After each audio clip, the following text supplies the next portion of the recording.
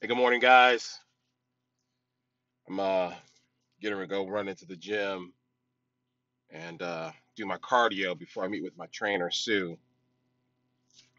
And I wanted to do a quick video um,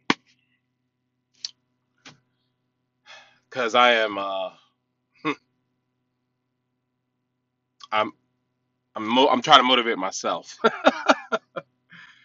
uh, I have one last push for the house. It has to happen this week, or we're gonna lose it.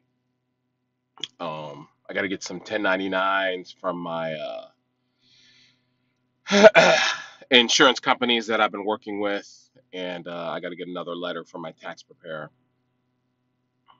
um, and I'm gonna knock that out today. And um, you know, and they said that that should be enough to clear us to close. Uh, of course, I read in the fine print, unless there are other conditions that need to be met. Um, but you know, my my my uh, my broker was just like, "This is it. This is all we need. Um, we're going for it." And you know, that's that's kind of that's kind of uh, symbolic of my life. You know, Um, you get to those points in your life, those those uh, those phases in your life where you hit the crossroad and you got to make a decision on whether you're going to go for it or not, or whether you're going to give up. And here's the thing: even when you go for it,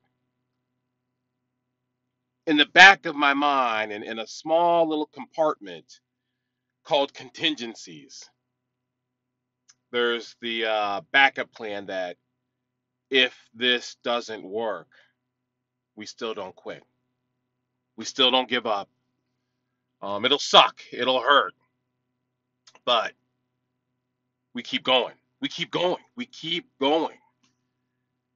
And I think a lot of us are looking for excuses to give up and not to dig in. I think that I think that's the biggest problem with our society today. We're we're breeding a society of quitters. You know, everybody has a fantastic excuse. And you know, I work uh, in uh, in the addictions field in counseling predominantly. And you know, and so I hear a lot of excuses. And I'm not saying that they're not good excuses, but I'm saying that they're just excuses. And if you're looking for an easy pass to say, you can stop now, you can stop trying, you can give up, and it's over, uh, I'm not going to ever give it to you. I'm not going to ever give, I don't give it to myself anymore. I used to. I used to be prof- I used to be a professional quitter. Always had an excuse. Always was in self-pity. Always was feeling sorry for myself. And that kind of negative dysfunctional mental energy was keeping me in the rut that I had dug for myself. It wasn't a hole, it was a rut. And it just kept going because I kept looking down instead of looking up. And so, even though this is the last push, it's not the last straw.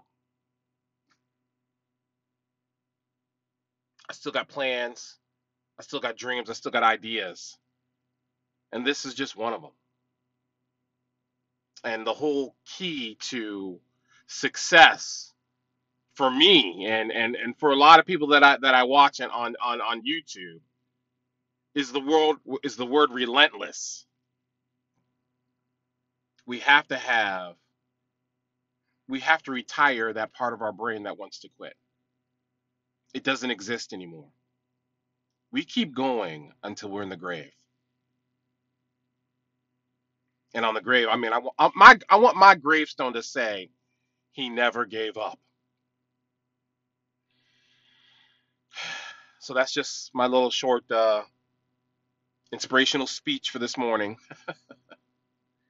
I go weigh in today at uh, Nutra Health, so I can't wait to see uh, how much weight uh, I've lost. I've already lost uh, six pounds in the past, you know, uh, three four weeks. So I'm excited. But you know, if I didn't lose anything, it's no no worries because I'm not gonna quit. All right. So I love you guys. Good morning. Let's get it done. Peace.